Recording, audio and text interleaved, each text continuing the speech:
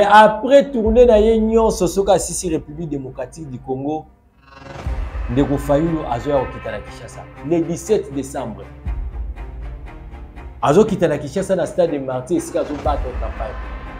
esika oyo baverite nyonso ekobimela ekobimela wana Je pense même c'est le jour oyo eh, ndeko Fayulu akopesa naza ba hypothèse mibale soit ako se maintenir na position na ye mpo na koloba ete aza toujours candidat de la république epuis akopona ka moko te ça c'est un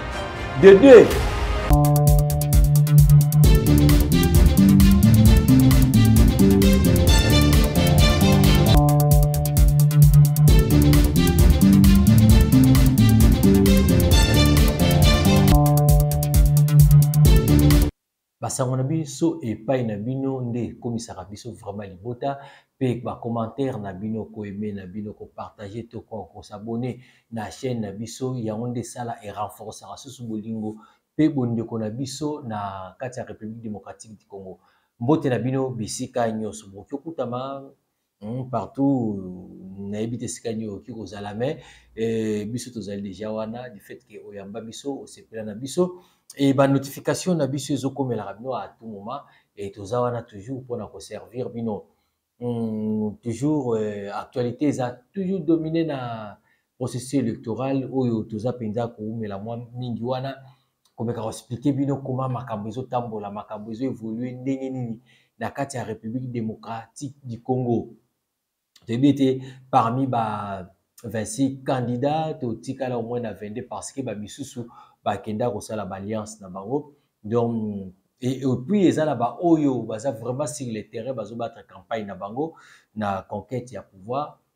mais eza mpe na bamisusu oyo tozoyeba te si réellement eh, bapostulaki pourquoi parce que même na kinshasa esika ezali fief na bango tozomona eloko moko te toyebi te qu'est-ce qui se passe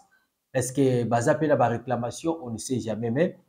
tozokende moke moke campagne électorale bientôt là ezo ezo tozokoma na suka parce que il faut tokende na maponami Deja mokolo ya lobi eh, ndeko Felix Antoine Tshisekedi azalaki na aza deja na Grand Katanga oyo atiaki susu makolo na ye na na Lubumbashi oyo ayambamaki na population ya makasi vraiment vraiment tokozongela yango tokomeka kolobela yango lisusu et puis euh, Martin Fayulu oyo azokoma na espace Grand Équateur deja akozala kuna pour ke akende kosala mosala akende koconvaincre aussi balecteur na ye ya 2018 basali lisusu confiance pour ke azwa kiti ya bokonzi na niveau ya ensemble pour la nation ndeko moïse katumbi azali sikoyo na espace eh, grand bandundu esika oyo ye mpe akokende kosala mosala na ye comme d'habitude parce que conquête ezali ya pouvoir ndeko Muzitu azali sikoyo na espace Grand Kasai esika oyo aza quand même parmi ba ba, ba, ba candidat président de la République oyo ba oser hein, kokota na kati ya na kati ya Kasai donc c'est-à-dire que euh, terrain nyonso ezali accessible na mutu nyonso pona kokende ko battre campagne Kasi tolingi tokota sikoyo na kati ya reflexion ya biso mokolo na lelo, tomeka kotala makambo ndenge ezokendela. Nabanzi après tourne ebele ya chef de l'État ndenge asalaki de par ci par là ke ye azongi lobi azalaki na Katanga. Laisse moi vous dire bato zasi bakombaki à partir ba 9h 10h babandaki kozela arrivée ya chef de l'État. me akomaki na ngonga ya pokwa oyo bato balungwaki te bato bavandaki bato bazelaki bazelaki ti ntango ya koya me pandaki abandaki kosala mitingi na ye eza na eloko oyo emeki komema polemike oyo emeki ko, eh, koderange mwa bato mwa ebele parce que interpretation ya maloba ya chef de l'etat ememi bato na kati ya confusion esali eke bato mosusu baluki bainterpretation na ndenge na bango c'est vrai so tolandi eh, adresse ya chef de l'etat partout esika atamboli abandaki kolobela to azolobela toujours problème oyo etali bakandidat ya bapaya oyo toza na bango bazali soutenir na communauté internationale bazali soutenir na rwanda epuis na bato ebele e bafinancement bazwi ya, mo, eh, ya modele na modele e ntango akomi na katanga na banzi abandaki koloba esadresse soki olandi message wana esadresse ya moïse katumbi pour dire ke bazalaki awa batongi ba, ba biloko mpo na avantage na bango parce que baoyo baye lelo oyo basali basociété privé ya bango ya transport te batongi stade privé na bango moko te basali basociété na bango moko privé te mais basali mosala mpo na république démocratique du congo mpo na intérêt ya population phrase oyo esali mpasi oyo ezoderange baebele ezali ke bakoya awa bakoloba mpe kaka na swahili bakoloba lisusu eh, katanga yetu interpretation ebandeli wapi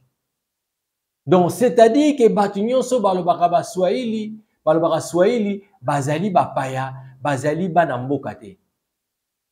Pour les uns, ezali c'est une façon ya ko identifier espace swahiliphone que baza ba congolais te baza ba paya. Ça dérange. Mais tant que meki to kota to bandana ko, ko réfléchir, nde pe nazo tinda bino bo réfléchir. Déjà vous allez constater que eh, hypothèse oyo bandeko bazopesa eza yango te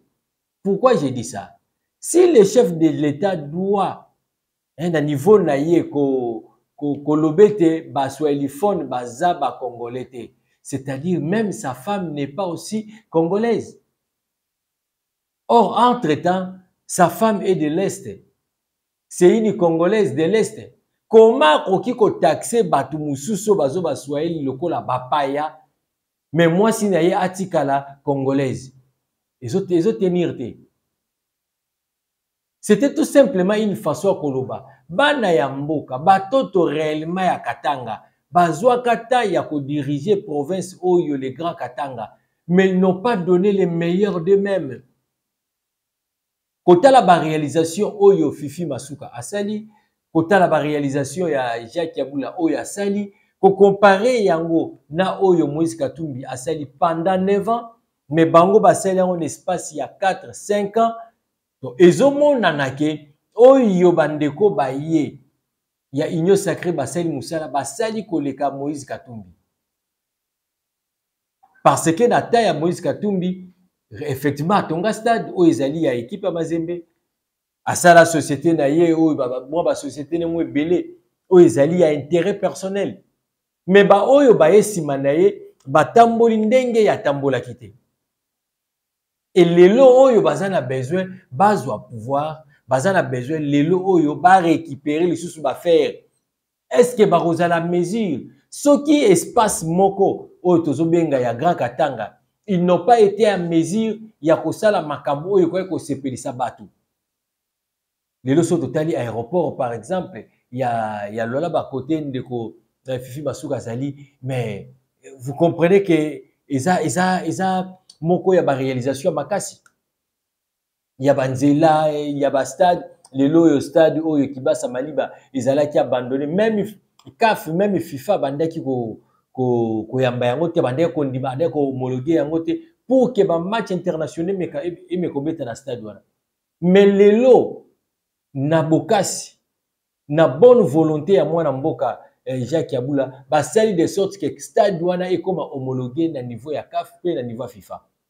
donc c'est à dire que ça fait partie ya baréalisation ya makasi et surtout mpo na intérêt ya mboka vous allez comprendre avec moi que le stade mazembe eza stade privé ezali ya république eza na kati ya république démocratique du congo mais eza na gestion ya gouvernement congolais te eza juste à part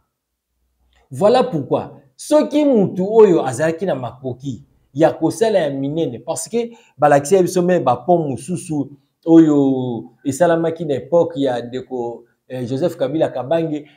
bakamataki ba balobi ke ezali parmi baréalisation ya moïse katumbi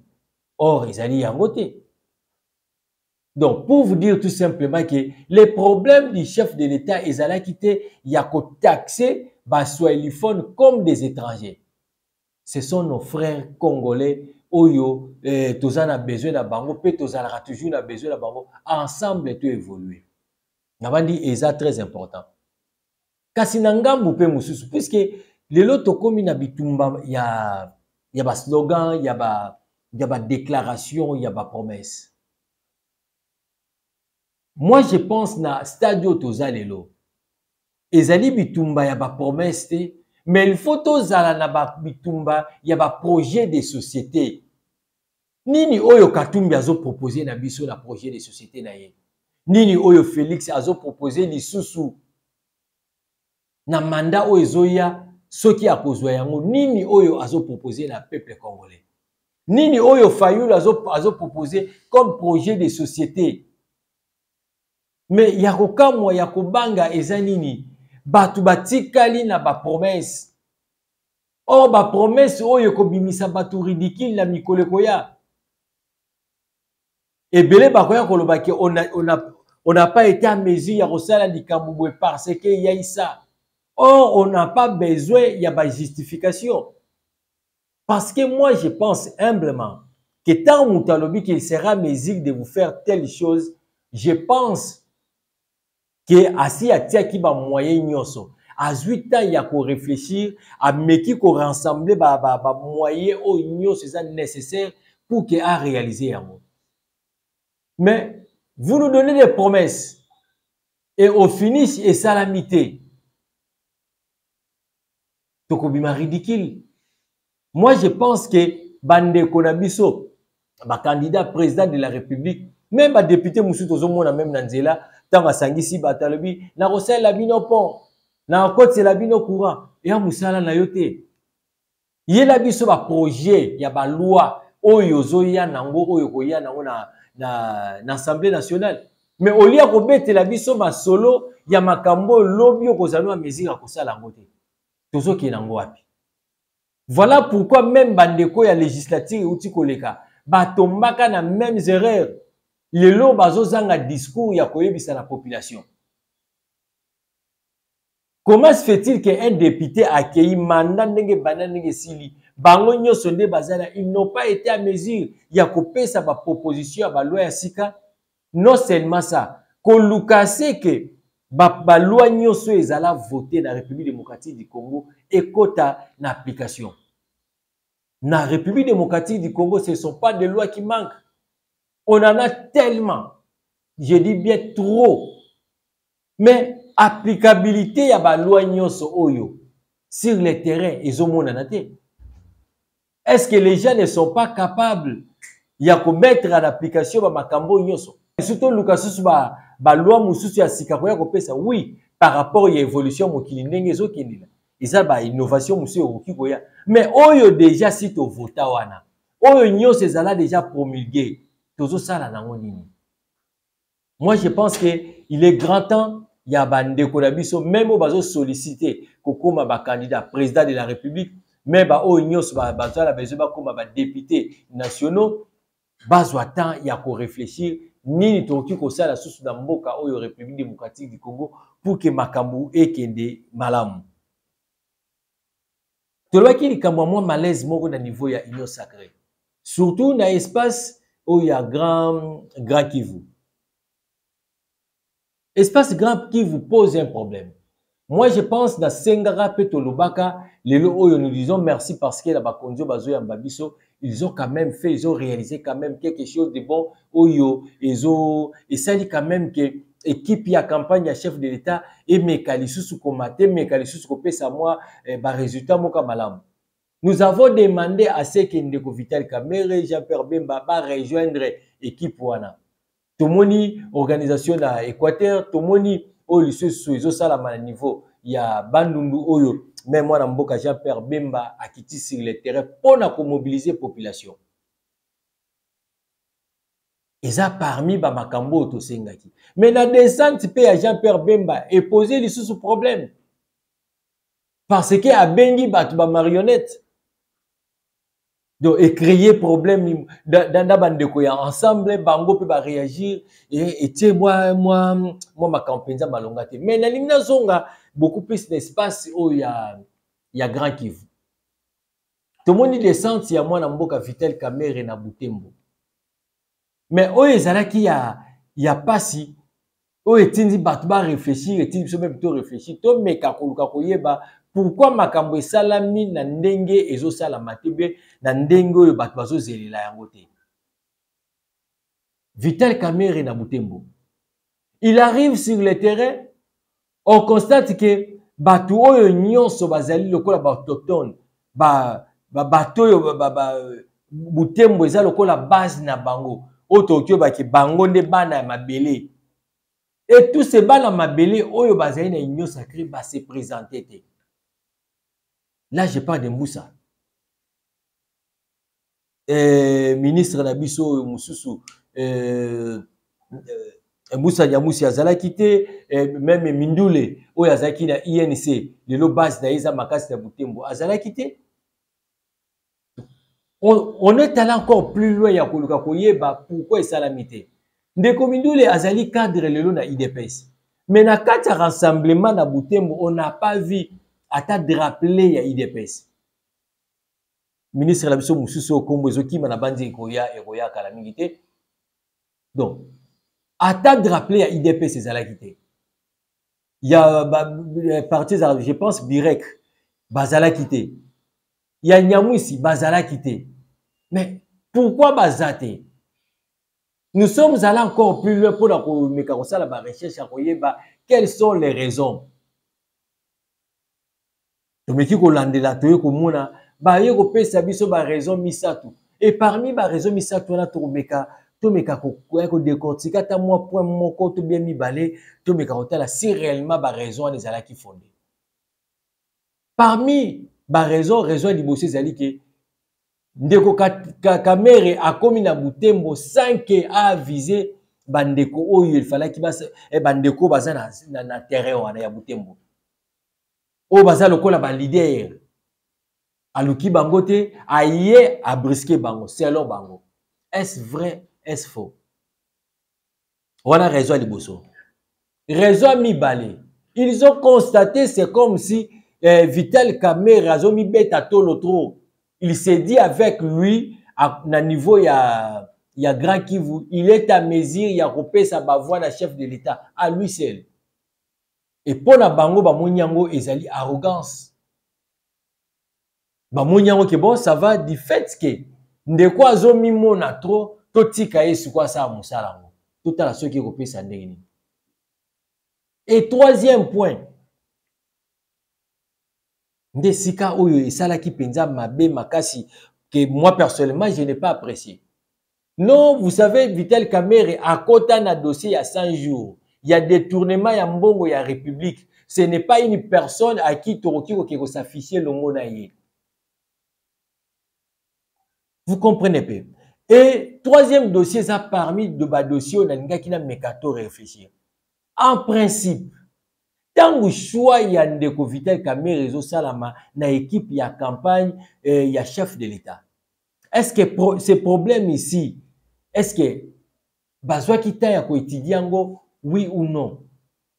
Si oui, du fait que azalaki asi abimaki na kati ekipe ya campagne, est-ce que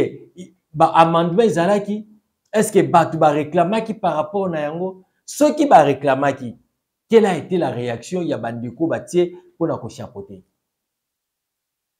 lelo oyo vital kamere na, wana ezali na kati ya mabele na bango oyo tobezobenga espace grand kivu ce sont ses propres frères oyo baza d'accord na ye te bakoki kosafiche na ye te pendant campagne électorale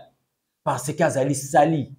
parce que eh, dossier na ye ya 100 jours eza claire te partout esika azoleka wana mpe baza na baza bazokosa te partout esika bakendaki ou bien azotambola bato bazokritike ye par rapport ya gestion ya 100 jours ya kobenga moyibi babengi moyibi ya kopesa baqualificatif nyonso bapesi yango mpo na vital camere est ce que ezali parmi baraison oyo bandeko oyo bandimaki te ke basala mosala elongo na ye moi je pense je l'ai toujours dit et je continue toujours à le dire tant que solution ekozwama na ngambo wana te il a encore grand temps parce que boyebi très bien tosi tolobango na baémission na biso déjà na inc déjà na parti même ya baati lukwebo il y avait des soupçons bobosani te ke eza na moko ya ba ya ba ya bakandidat aza mpe depute national oyo azali na inc Yewa azo battre campagne pona mwana mboka Denis Mukwege. Or bango nyoso bazali batu oyo baza na kati ya eh, Union Sacrée. Entre temps, même na niveau ya AFDC, euh, eza na batu oyo bazalaki d'accord te ya koaccompagne chef de l'État na, na baélection présidentielle. Bamisusu mpe bazo soutenir d'autres candidats oyo bazali ya Est. On se pose des questions Mboka moko, motuka moko, deux, trois chauffeurs, tozokende yango wapi? Realite to ekozala ete bato bakende komibeta na mur et que ba resultats ya malamu ezala te. Il est encore grand temps ya koluka union sacrée asangisa bandeko nyonso wana baluka combien ekoma makambo ekende. Et moi je pense combat makasi na butembo ce n'est pas par rapport ya kamere comme eh, par rapport ya ba ba 3 points oyo bapesi mais aussi c'est par rapport ya bacandidat oyo ya bango bacandidat député nationaux oyo il faut inc azwa et que Birek mpe il faut azwa AFDC mpe il faut azwa Busa mpe na ngambo il faut azwa combat je pense eza na niveau wana et non na niveau ya présidence de la République moi je pense qu'il a encore grand temps ya kotravailler ya kotravailler na dossier wana mpo kimia ezala kasi tozokende koshite na dossier ya eh, ndeko fayulu ndeko fayulu nde tolobaki azokende na l'espace ya, ya grand équateur esika akokende koconvaincre lisusu balecteur na ye baya bavote lisusu massivement ndenge basalaka yango mais après tourne na ye nyonso soki asisi république démocratique du congo ndeko fayulu azoya kokita na kinshasa le 17 décembre azokita na kinshasa na stade de martyr esika azobattre campagne esika oyo baverite nyonso ekobimela ekobimela wana je pense même c'est le jour oyo eh, ndeko fayulu akopesa naza bahypothèse mibale soit akose maintenir na position na ye mpo na koloba ete aza toujours candidat de la république epuis akopona ka moko te Ça, c'est un. De deux,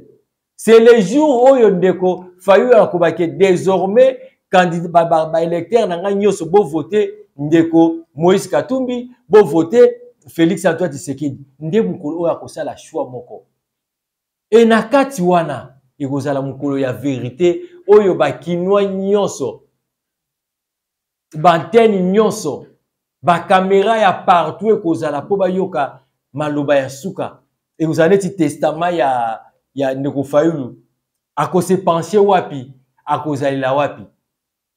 e modele oyo chef de l'etat asalaki na stade de marti tokokompare yango soki na ndeko fayulu nani akosala koleka epuis ntango bandeko nyonso bakosala avant ndeko fayulu aya moïse katumbi moto akozala moto ya liboso parce que